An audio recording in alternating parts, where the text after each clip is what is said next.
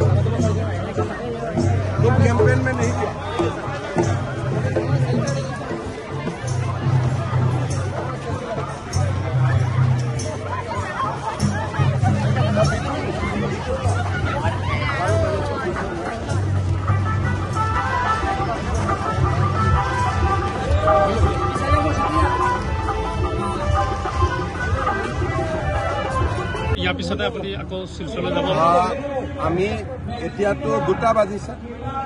চাৰিটা বজাত গৈ শিলচৰ উপস্থিত হ'ব লাগিব। চাৰে চাৰিটা পাঁচটা বজাৰ পৰা গৃহমন্ত্ৰী অমিত শ্বাহ ডাঙৰীয়াৰ শিলচৰত ৰোড শ্ব' আছে। আৰু ৰোড শ্ব'ত মই ভাগ ল'ম। আৰু আজি আমাৰ তিনিখন মিটিং হ'ল। বোকাজানত এখন মিটিং হ'ল। এখন মিটিং হাওৰা ঘাটত হ'ল। এখন বৈঠালাংচুত হ'ল। আৰু তিনিওখন মিটিঙৰ পৰা মই এটা কথা বুজি পাওঁ যে আমি তিনি লাখ ভোটততো জিকিমেই চাৰি লাখ ভোটৰ কাৰণে আমাৰ ইয়াত চবেই চেষ্টা কৰি আছে।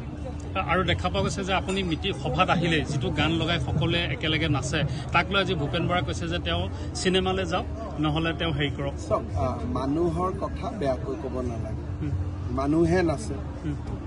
এতিয়া মানুহক চব মানুহক কেনেকে চিনেমাত যাব মই বাৰু চিনেমাত গ'লোৱে বাকী মানুহবোৰ কেনেকে চিনেমাত যাব? সেইকাৰণে কংগ্ৰেছৰ মানুহবিলাকে মানুহৰ আৱেগ মানুহৰ অনুভূতি মানুহৰ ভাল পোৱা মানুহৰ ফূৰ্তি মানুহৰ বেদনা এইবিলাক বুজি নাপায়। মই নিজে নাচাটো মই নাচিব পাৰোঁ। পাব্লিকে কিয় নাচে মানে আমাক ভাল পায় মোদীজীক ভাল পায়।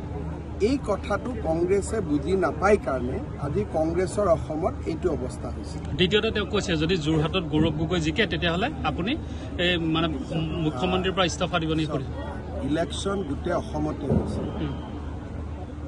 এটা সমষ্টিৰ লগত অসমে গোটেই অসমখন জড়িত নহয়।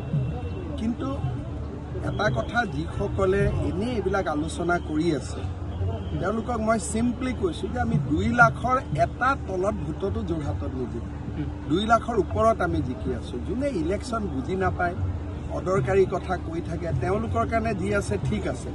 কিন্তু যোৰহাটত মোৰ মানুহক ইমান ৰিড কৰাত ভুল নহয়। দুই লাখ ভোটত বিজেপি ভূপেন বৰাক এ, কি বুলি ক'ব? তেওঁ যদি চেলেঞ্জ ল'ৰাটো নিজেই বিজেপিত আহিব। দুদিন পিছত তেওঁৱে এপ্লিকেশ্যন কৰি থাকিব আহিব লাগে আহিব লাগে। তেওঁৰ কথা আপোনালোকে গুৰুত্ব দি আছে বাকীটো কোনেও গুৰুত্ব নিদিয়ে দ্বিতীয় পৰ্যায়ত গোটেই ইলেকশ্যনৰ গোটেই জেগাত তেওঁ কোনোবা এখন মিটিঙত তেওঁৰ কথা শুনিব মানুহ আহিলে নেকি? ইভেন মাইনৰিটি এৰিয়াটো অহা নাই। গতিকে মানুহে জানেই যে এওঁ বিজেপিত গৈ আছে বুলি। হোজাই জিলাত যিটো পাৰ্চেণ্টেজ কিছু পৰিমাণে কমিছে তাক লৈ পেলাই তেওঁ একো নাই এক পাৰ্চেণ্ট কংগ্ৰেছৰ মানুহ নাহিলে আমি কি কৰিম? আমাৰখিনিতো আহি গ'ল। আমিতো হাণ্ড্ৰেড পাৰ্চেণ্ট ভোট নাপাওঁ আমি ফিফটি পাৰ্চেণ্টহে পাওঁ। আমাৰ মানুহখিনিতো আহিলে। কংগ্ৰেছৰ মানুহখিনি যদি বুথত আনিব পৰা তাৰ দুখটো মই ল'ম নেকি এতিয়া? তাৰমানে কংগ্ৰেছৰ মানুহখিনিকো পুলিং বুথত মই আনিব লাগিব। যদি কংগ্ৰেছৰ পুলিং এজেণ্ট নাথাকে কংগ্ৰেছৰ টেবুল নাথাকে তেতিয়া মানুহ ক'ৰ পৰা হ'ব? প্ৰথম পৰ্যায়ত পাঁচটা পাঁচটাতে ক্লিন চুইপ ইয়াত কোনো ইলেকশ্যনে নাই। অসমত এঘাৰটা চিটত কোনো ইলেকশ্যন নাই। বাকী দুটা চিটতো মোটামুটি আমাৰ কণ্ট্ৰলত আহি গৈছে। এই নগাঁওতো কিমানখিনি নগাঁওতো বহুত ভাল হৈ আছে।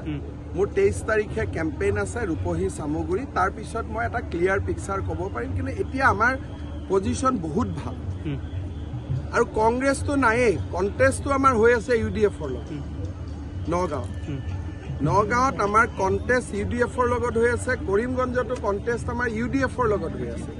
কংগ্ৰেছটো পিকচাৰতে নাই আৰু ধুবুৰীটোৰ ক্ষেত্ৰত কিবা ধুবুৰীটোৰ ক্ষেত্ৰত মই এতিয়ালৈকে ধুবুৰীত যোৱা নাই। থাৰ্ড ফেজত আছে। পঁচিছ তাৰিখৰ পিছত ধুবুৰীৰ কথা পাতিম। সংখ্যালঘুৱে দ্বিতীয় পৰ্যায়ত দীৰ্ঘভাৱে চাপৰ্ট কৰিছে চাওক প্ৰথম পৰ্যায়তে বিনাকান্দি সমষ্টিত। এইবাৰ আমি প্ৰায় এক লাখ ভোট পাইছোঁ। আশী নব্বৈ হাজাৰ। সংখ্যালঘুৱে ভোট নিদিলেতো তাত আশী নব্বৈ হাজাৰ ভোট আমি পাব নোৱাৰোঁ। আপোনালোকেও খবৰ কৰক। কাৰণ সংখ্যালঘু সংখ্যাগুৰু এই ভাগটোৰ কথা নাই। সকলো মানুহে মোদীজীৰ পৰা উপকৃত হৈছে। চবকা সাথ চবকা বিশ্বাস। গতিকে মোদীজীক সকলোৱে ভোট। আমাক পিছত ভোট দিব নিদিব বেলেগ কথা। কিন্তু মোদীজীক সকলোৱে ভাল পায়। দুখন বাদ দি বাকী সকলোখিনি বিজেপি এখন বাদ দি বাকী সকলোতে বিজেপি আগবাঢ়ি আছে। কিন্তু নগাঁও আৰু কৰিমগঞ্জত ইউ ডি এফৰ লগত আমাৰ কণ্টেষ্ট আছে। ইলেকশ্যনৰ পিছত মই আপোনালোকক ক'ব পাৰিম কি হৈ গ'ল। কিন্তু আমি ডেইলি আমি আগবাঢ়ি গৈ আছো। ভূপেন বৰাক এই- এই লোকসভা পিছতে আহিব মানে? ভূপেন বৰা চেপ্টাৰটো এইটো বাদ দিয়ক। এইটো এইটো সুধি থাকি লাভ নাই। Article two forty four A Haren Singh be already পাৰ্লিয়ামেণ্টত বিল ছাবমিট কৰিছে। অমৰ সিং টিছুৱেও তাক ছাপৰ্ট কৰিব।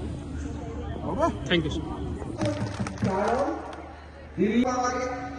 বিনা পইচাত আজিকালি চৰকাৰী চাকৰি আৰু কাৰ্বি ল'ৰা ছোৱালী এইবাৰ আনকি ৰেজিষ্ট্ৰেটো হৈছে অকল থাৰ্ড গ্ৰেড নহয় চাৰে বাৰ হাজাৰ থাৰ্ড ইয়াৰত পাব চাৰে বাৰ হাজাৰ ফ'ৰ্থ ইয়াৰত পাব চাৰে বাৰ হাজাৰ আৰু ভগৱানে কৰক ছোৱালীজনী যদি ইউনিভাৰ্চিটিত যায় তাইক মই পঁচিছ হাজাৰ টকা তাইক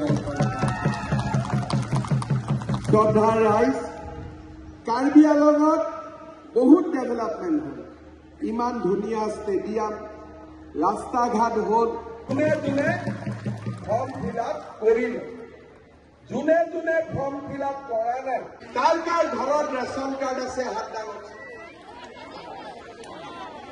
আছে চবৰ ঘৰত ৰেচন কাৰ্ড আছে ৰেচন কাৰ্ড আছে। এতিয়া এইবাৰ মই কি সিদ্ধান্ত লৈছো যে আমাৰ বৈঠালাংশু আৰু আমৰি সমষ্টিত যিমানে মেট্ৰিক পাছ কৰিলে তেওঁলোকৰ চৰকাৰে কাৰ্বি আলঙলৈ স্থায়ী শান্তি লৈ আহিল এইবাৰ এই স্থায়ী শান্তিৰ লগত কাৰ্বি আলঙত আমি শিক্ষাৰ পৰিৱেশ আমি ভাল কৰিব লাগিব। আৰু সেইকাৰণে এইবাৰ মই কাৰ্বি আলঙত এখন নতুন ইউনিভাৰ্চিটি স্থাপন কৰাৰ বাবে সিদ্ধান্ত লৈছোঁ। যাতে কাৰ্বি আলং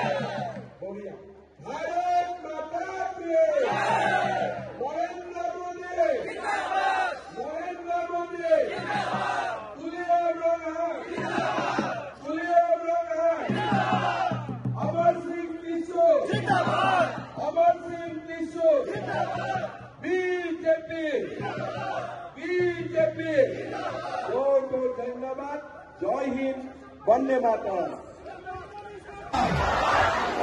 নরেন্দ্র